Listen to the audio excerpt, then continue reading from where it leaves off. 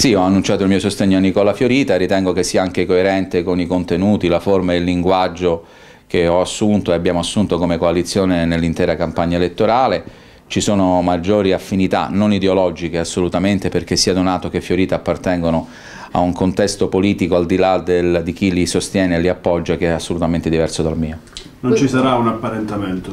Assolutamente no, nessun apparentamento tecnico, un appoggio sulla valutazione più che altro del candidato, appoggeremo naturalmente quelle che saranno le scelte del governo di Fiorita laddove queste dovessero convincerci, diversamente le avverseremo.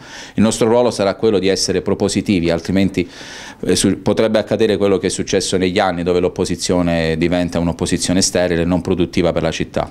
È una scelta politica che aveva già anticipato Lupi, se vi ricordate alla convention, e poiché eh, rispetto ai partiti non, non, si può decidere a livello localista.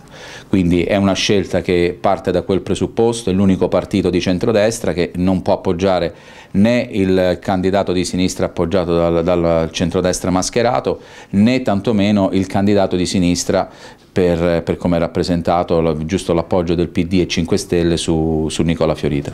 Eh sì, è certo, perché Valerio Donato è un uomo di sinistra, lo ha, lo ha, dichiarato più volte, anzi si è definito marxista, ha strappato la tessera del PD a marzo, ma rimane un uomo di quella, di quella matrice. Eh, Fiorita è appoggiato dal PD, eh, ragion per cui dopo tanti anni ritorna un sindaco di sinistra, e questo per volontà del, del centrodestra. Proprio per dimostrare e confermare che la mia scesa in campo era soltanto per dare un contributo alla città, pubblicamente ho dichiarato e ho detto che non voglio avere alcun ruolo se non quello di fare il consigliere nell'interesse esclusivo della città e dei cittadini catanzaresi, anche di quelli che non mi hanno votato. Sicuramente rassegnerò le mie dimissioni da Forza Italia, io sono ancora un iscritto di Forza Italia, qualcuno forse se l'è dimenticato nel momento in cui poneva il veto sull'unico candidato naturale fisiologico di Forza Italia, scegliendo poi di appoggiare un candidato che aveva la tessera del PD.